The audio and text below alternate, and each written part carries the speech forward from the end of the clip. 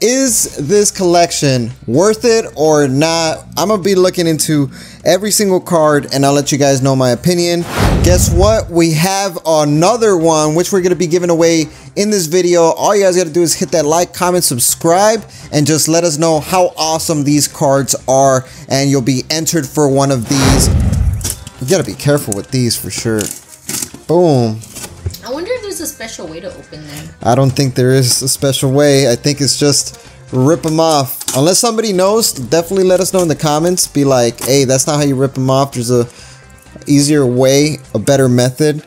Let us know. But for now, you know, we're doing it caveman style. Yeah, they're all stuck together.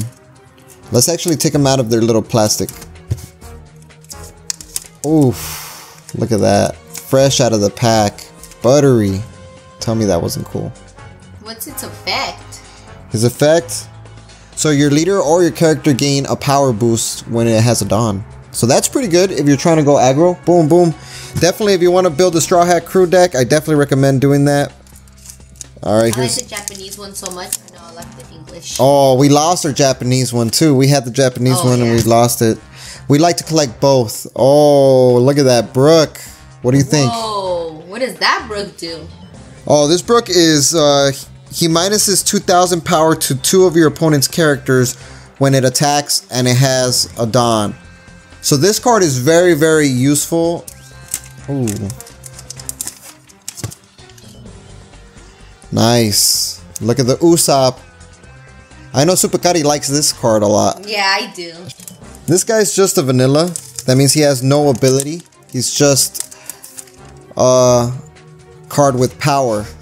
I like this one because you get the full art of his face and his neck muscles. You see that? Who's gonna guess? Guess who's coming out of this pack right here? What Straw Hat crew member? Let me guess. It's going to be Luffy. Zoro. Oh, it was Sanji. Sanji. This Straw Hat crew is the cook of the Straw Hat members. And he's a 2k counter, so if you want to use him, you could definitely boost up your Straw Hat crew deck with this guy. So far, I'm enjoying this opening. It's pretty cool. What's your And favorite card so far? I don't know. So far, out of the ones that came out, ah man, I don't know. I think it's this Luffy card right now that we just got. This is the only leader you get in the premium edition. Oh, really? Yeah. This is the only leader that comes in here, and it is the Zoro. This guy's so good. He's been the meta deck since set one, and he continues to be the meta deck, and I think he is just extremely powerful. 100% deserves this artwork right there. You know, when, when he was like getting hung for a while, the first episode, I think, where Luffy meets Zoro, you got it in the back. I know everybody loves Chopper. Let's see his card.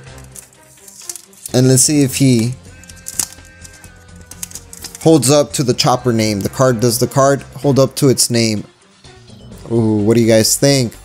I think so. This card is looking very, very, very crispy. If you are, Blocker? yeah, this is the blocker.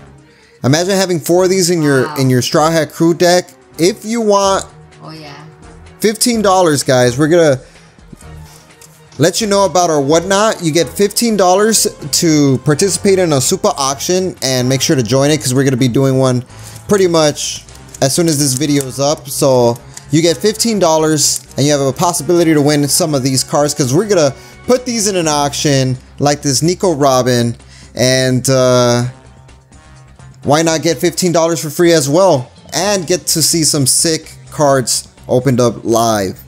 Wow look at this beautiful and last but not least we got the nami